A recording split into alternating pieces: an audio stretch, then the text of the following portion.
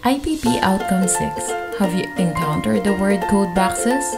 Would you like to expound your knowledge about stock replenishment in institutional pharmacy? What will you get out of this course outcome?